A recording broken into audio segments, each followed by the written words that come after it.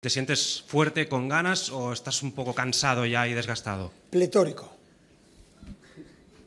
Sería un adjetivo calificativo para definir cómo estoy. Víctor Malo, eh, Diario Gol.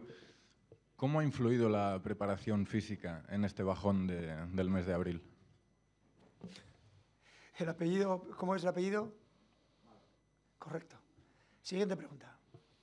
Veo que no estás muy atenta porque en el Twitter no, o sea, no soy de los más activos. Mira mis Twitter, llevo sin hacer un tweet, no sé, en un mes creo que he hecho dos tweets y han sido retweets de tal. Venga, si tú ya sabes más que yo, perfecto, tira, vamos a por otro. Perdona. No, jo estic comptant, Perdona, res més. eh, Núria, perdona, segon. Te han preguntado dos veces por declaraciones de ayer de Leo Messi. y, bueno, has respondido, pero luego ya, ya no querías seguir respondiendo. ¿Por qué cuando te preguntamos por, por Messi, pues te sientes un poco incómodo o rehuyes y hablas de que no quieres alimentar polémicas? Tercera pregunta sobre el mismo tema. ¿eh? David. ¿Qué tal, mister? Muy buenas. David. No irás a por la cuarta tú, ¿no? Te iba a decir, vas, vas- vas a oír la cuarta. ¿Ah, sí? Sí, sí. Pues no Eh, la hagas no, no, hombre, ¿eh? no, hombre. Ahora simplemente- te la- No, simplemente para que, simplemente para que, para que nos quede claro. Eh, Sí. La versión de Messi ayer es muy clara. O sea, que es verdad, vas a por la muy cuarta. clara. No, no, es muy clara.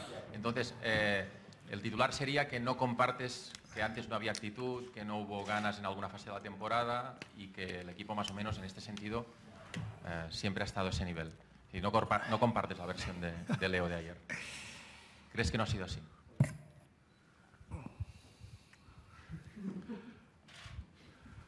Gracias por la respuesta. Es una reflexión bastante profunda. No, no, bien visto. Madre mía, cada día entiendo menos tus preguntas.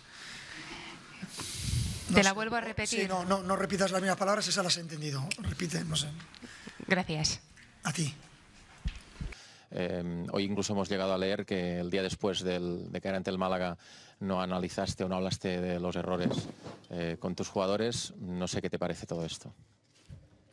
Muy simpática la pregunta, en la misma línea de siempre. Eh, ¿Tú también crees que el Barça es el mejor equipo para que Neymar llegue a ser el número uno del mundo?